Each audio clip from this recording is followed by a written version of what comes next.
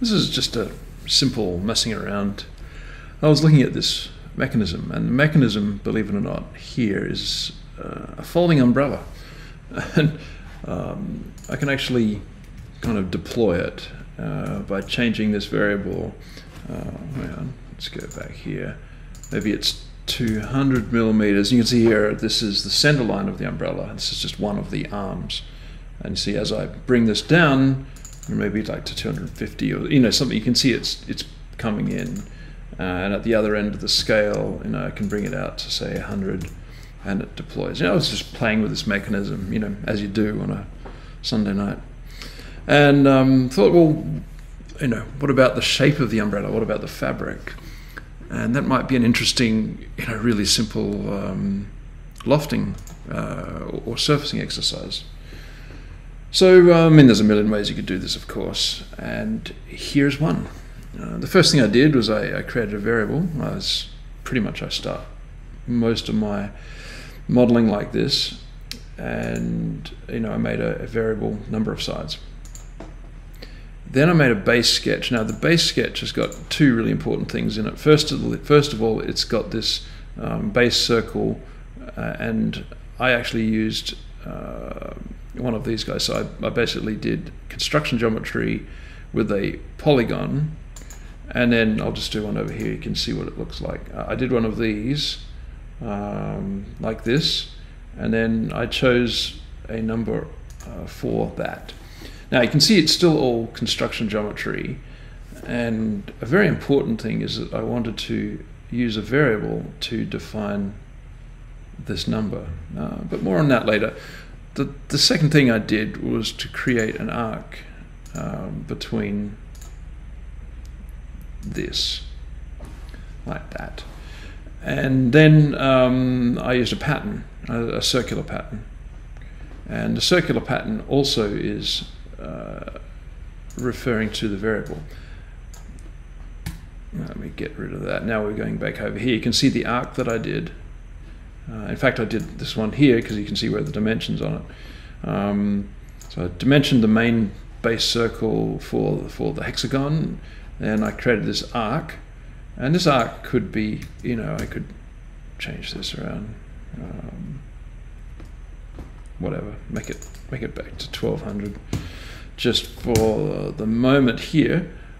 And why don't we make this a variable at the same time? So let's make a new variable and just type a name in. We're doing this inline, um, I don't know, scallop. Yeah, scallop rad something like that. Just hit enter a couple of times and now that is, uh, you can see here that's a variable uh, for there. So we've got the variable for the pattern of this is also the number of sides and it's the same variable I'm using for the actual number of sides here. So there's a couple of um, uh, you know couple of tweaks in there for the sketch, but essentially now we've got this shape here.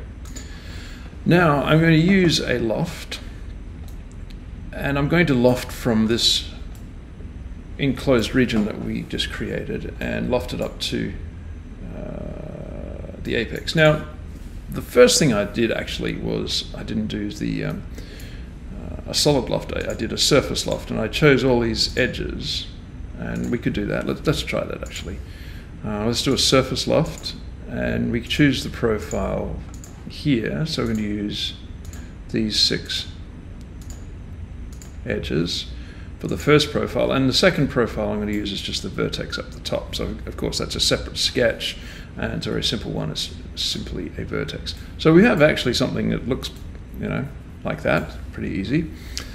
And if we go back to one of those variables like the, the scallop radius and make that much smaller, you'll see that you know we have a, a reasonable thing in there. So let's make it halfway in between. Also, now that's not really how most umbrellas look like. So we can play with the loft a little bit more. And we can actually give a, profile of the starting condition of tangency and in fact, it's not the starting condition that we, well, we could try. Uh, let's try the starting condition and make it uh, normal to the profile. Okay, that looks like something that might be on top of a cake, or, or perhaps a, I don't know, maybe a, I don't know, there's not too many umbrellas that look like that. So let's ditch that one and go for the end profile. Now, if we make the end profile normal to this, yeah, it'll actually be normal to the plane that that sketch is on. So if we go, uh, sorry, tangent, tangent, tangent, tangent. Um, let's make it tangent. Ah, now we're talking. We actually have something that looks pretty reasonable. And we could leave it at that because we've got our skin and we could go on and, and incorporate the mechanism that I was doing before and then, you know, it'd be great. The problem is, is that I haven't quite hooked it all up now. If I want eight sides, I want an octagon in here. It's not going to update properly because remember in this loft, we had chosen six selections. So there's a kind of an easy way to make this work um, for that loft. And instead I'm going to use a solid loft. And the solid I'm going to use uh, needs two profiles as well. And the profile I'm going to use is a face. And remember this, this is a closed sketch, so it creates a face. So that first face is, is that whole sketch.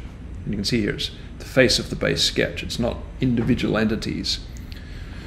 And I think you can see where this is going, but if I use my second selection here, the second profile is the vertex again as before, and we've still got the same end conditions. Actually, we can play with both of that.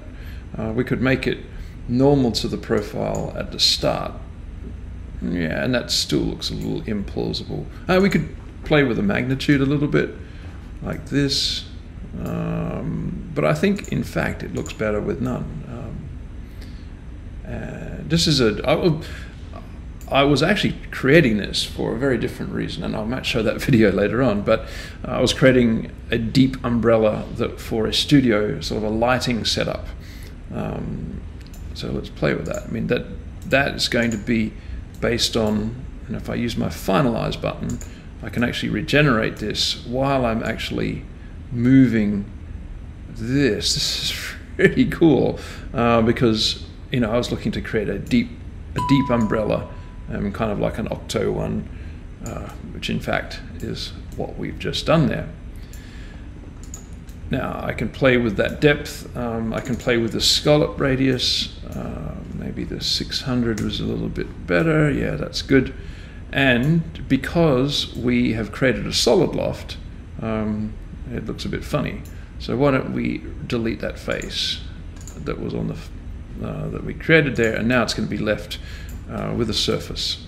And you can see here we've got a single surface, um, like that, which is in fact what we want. So if I hide the sketches by using Shift P, clean up the model, um, it's looking good. And let's test this theory that I had before, which is if I change the number of sides, the face of that sketch is still, uh, if we go back to here, the face of this sketch is still a closed region, like that.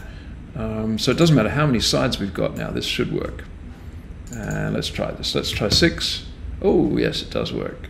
What about uh, even numbers or odd numbers? Odd numbers, yes, we can have a seven-sided umbrella, or 11 sides, or 13, if we like, to keep to prime numbers. Um, yeah, so that's pretty much it. I'm going to go back now and finish my assembly and get onto my studio lighting setup, which is quite an exciting video in itself because I'm using Render Studio to really mimic the physics, uh, the physical setup in my studio here.